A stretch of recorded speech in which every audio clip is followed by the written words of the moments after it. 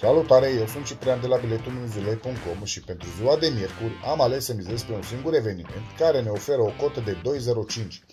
Am ales pronosticul din oferta celor de la Superbet.